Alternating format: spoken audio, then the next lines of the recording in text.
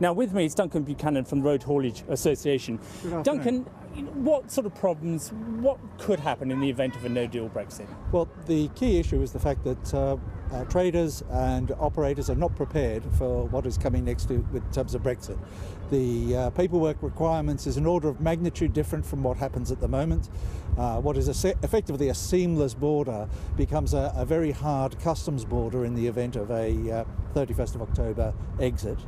Uh, the scale of the paperwork is enormous and is often misunderstood and not appreciated. Each one of the lorries, you mentioned 15,000 lorries there, eh, adding up between Dover and the tunnel. Each one of those lorries can have one shipment in or 10,000 shipments. Every one of those has to have customs processes around it. And unfortunately, at the moment, the traders, the importers and exporters do not know what they need to do to make that work.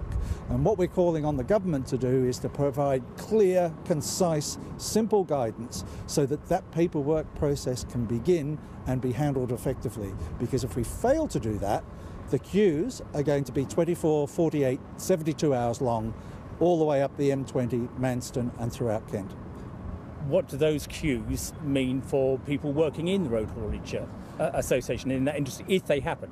Well, those queues are actually predicted to happen. We really are working. Brock is being planned around 24, 48, 72 hour queues.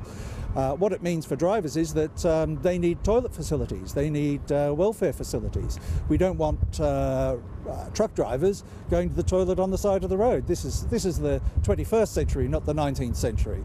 We shouldn't be treating people as badly as this. Drivers need to be treated with respect, and we need to have the facilities in place for drivers while they're engaging in these idle queues, uh, which are completely unproductive from the road haulage point of view. And even worse for exporters and importers, it means that they don't know when the goods that they are buying or selling are going to get to the other end. Duncan, thank you very much. Thank you.